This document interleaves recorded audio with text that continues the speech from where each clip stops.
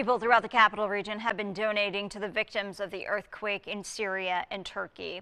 Today, volunteers helped to gather the donations to be put into boxes to be shipped off to the victims. The biggest need right now are medical supplies, baby formula, and diapers.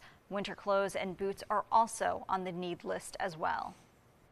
Everybody works. Everybody has their own regular works. They take off from the work, they come to help us.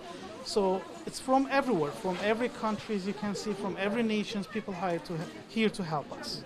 And the need is huge. If you want to drop off items to help the earthquake victims, you can head to the former Save a Lot location on Broadway in Menands. They are open from 1 p.m. to 5 p.m. daily.